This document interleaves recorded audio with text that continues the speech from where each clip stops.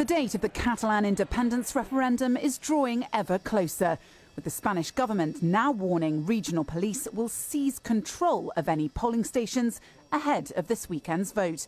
Madrid deems the process is illegal.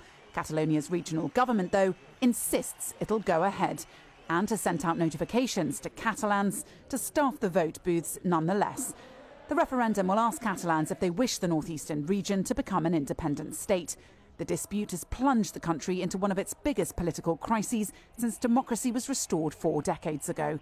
Spain's government said on Tuesday that all the referendum's logistics should be dismantled, adding that anyone with keys or entrance codes to a polling station could be considered as collaborating with crimes of disobedience, malfeasance, and misappropriation of funds.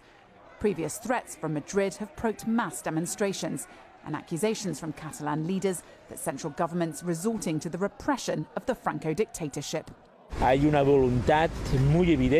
There's a very evident desire by the prosecutor's office, the Ministry of the Interior, and by the Prime Minister, Mr. Rajoy, to create tension, to provoke altercations, to generate indignation amongst citizens, in order to provoke a rupture within society.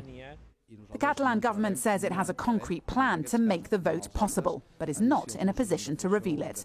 The regional assembly in Barcelona is due to declare independence within 48 hours of a likely yes victory.